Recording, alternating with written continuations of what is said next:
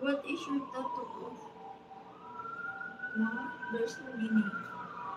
Wala na, gusto ko lang.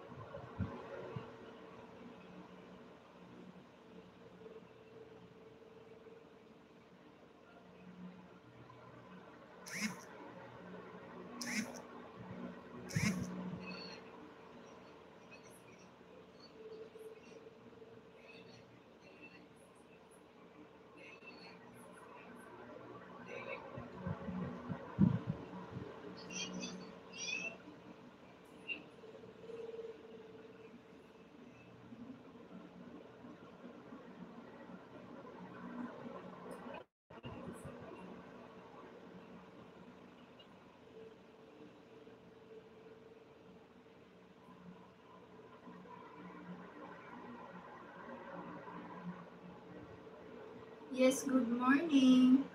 No, it's not morning here. It's afternoon already.